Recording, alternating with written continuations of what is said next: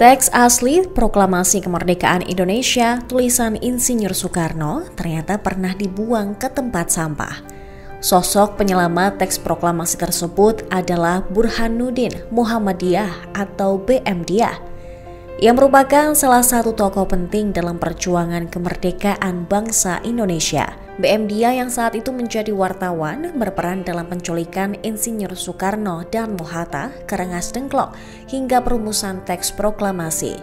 Anak dari Muhammadiyah ini turut jadi saksi ketika Soekarno-Hatta mengadakan pertemuan dengan tokoh PPKI di kediaman Laksamana Tadasi Maeda di Jalan Imam Bonjol nomor 1. Pertemuan pada 16 Agustus 1945 malam beragendakan menyusun naskah proklamasi kemerdekaan Republik Indonesia. Insinyur Soekarno menulis naskah proklamasi secara manual pada selembar kertas putih berukuran panjang 25,8 cm, lebar 21,3 cm, dan tebal 0,5 mm.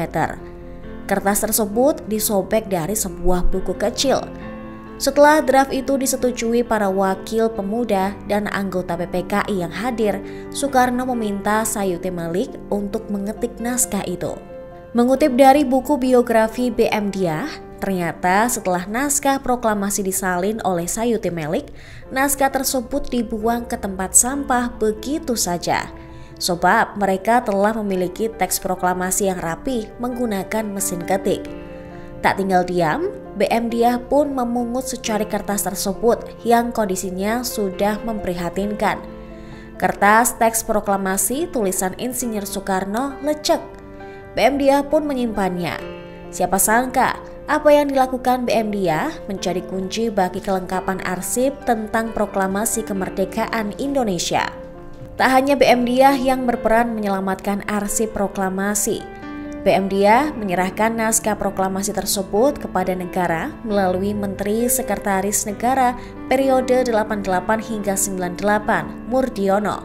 Selanjutnya, Murdiono menyerahkan naskah proklamasi tulisan tangan Bung Karno kepada Kepala Andri kala itu, Nur Hadi Maget Sari, untuk disimpan di Andri. Naskah proklamasi telah tersimpan di Andri selama lebih dari 30 tahun sejak 92. Naskah proklamasi disimpan di ruang dan tempat penyimpanan khusus. Selama disimpan di Andri, telah dilakukan berbagai kegiatan preservasi, baik secara preventif maupun kuratif, sebagai bagian dalam pelestarian memori kolektif bangsa. Selain itu, risk assessment juga dilakukan terhadap naskah proklamasi tulisan tangan Bung Karno yang bermanfaat untuk menilai risiko yang dihadapi atau akan dihadapi sehingga dapat mengontrol dan mengawasi risiko yang sudah ada serta meminimalisir dampak atas risiko yang akan muncul.